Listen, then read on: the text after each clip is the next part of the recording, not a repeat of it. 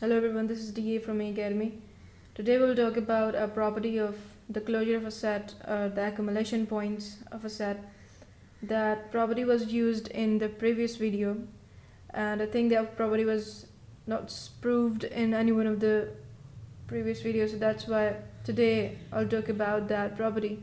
So the relation of the closure of a set and the accumulation point is that the set of accumulation point is a subset of the set A.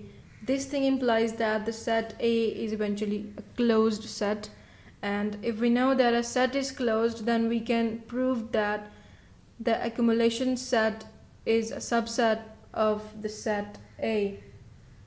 So there are two angles of this theorem.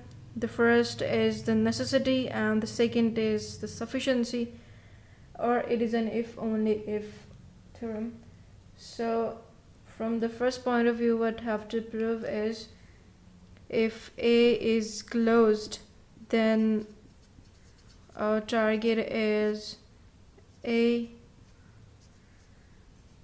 prime is a subset of a. And the second is if it is given then we have to prove this. And if it is given that a prime is a subset of a then what we have to prove is that A is a closed set. So talking about this right now, it is given that A is a closed set and this is our target now.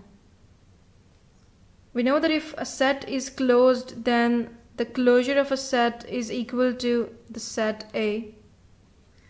By this given condition, we know this and we also know a relation of the accumulation set, the set and the closure of a set that is equal to A closure is equal to A union A prime.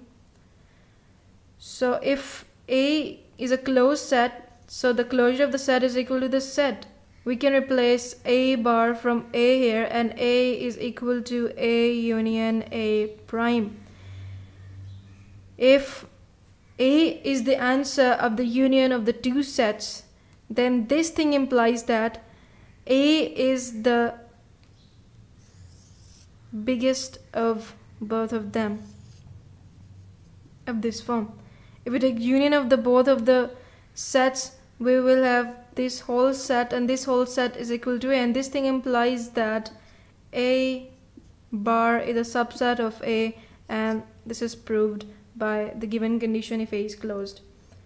So by talking about the second way that if it is given that A bar is a subset of A, A prime is a subset of A, that is the accumulation set is a subset of A, then we have to prove that A is a closed set.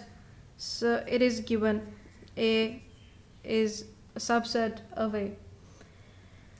So we know that if we take union of both of the terms a bar union a because a is a subset of a like this case then we will get the answer a. But we know that a union a is equal to a bar as the relation was proved in one of the previous video. So by comparing both of the terms we will see that a bar is equal to a eventually. So this thing implies that if the closure of the set is equal to the set, then the set must be closed. That its complement is open.